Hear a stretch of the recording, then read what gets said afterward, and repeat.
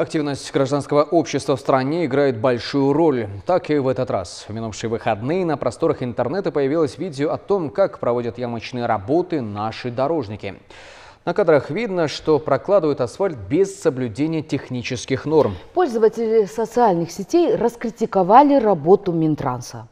Сразу же после обнародования этого видеоролика премьер-министр Суромбай Джейнбека поручил министру транспорта и дорог Джамшидбеку Калилову провести служебное расследование и определить ответственность лиц, давших данное поручение. Как решили этот вопрос в ведомстве в материале Дианы Мамиковой.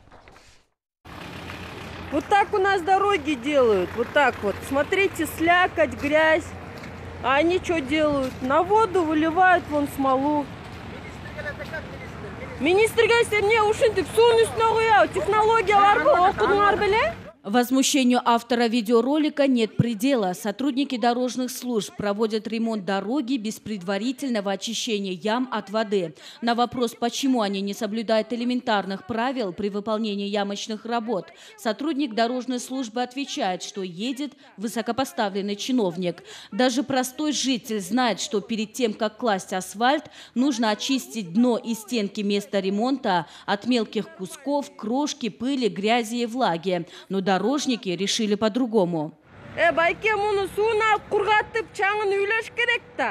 На рабочем совещании премьер Соромбай Джейнбеков сказал, что уровень доверия населения к власти прежде всего зависит от качества услуг, оказываемых госорганами. К примеру, со стороны государства уделяется большое внимание реконструкции и строительству дорог, а этот случай нанес урон работе не только Минтранса, но и всего правительства. Мамлекет тарабынан сырттагы кредит гранттардын көпчүлүгү жолго куюлат да Вчерашний видеоролик говорит о многом. Данный факт вскрылся благодаря активной позиции гражданского общества в стране.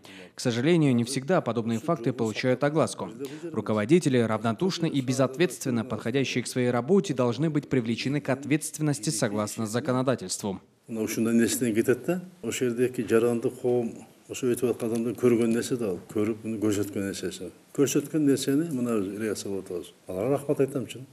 Ушуну тартып жөнөткөнгө бизге. Премьер Джейнбеков поручил министру транспорта и дорог Джамшидбеку Калилову провести служебное расследование и определить ответственность лиц, давших данное поручение.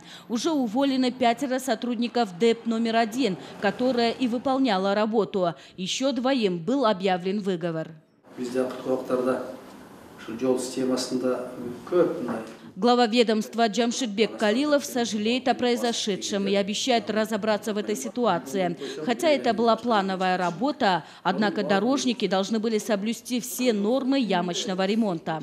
Это очень вопиющий факт. Это тут комментировать э, излишно. Мы по этому факту уже вынесли свои решения. Это дело мы просто так не оставим. Обязательно будет расследование.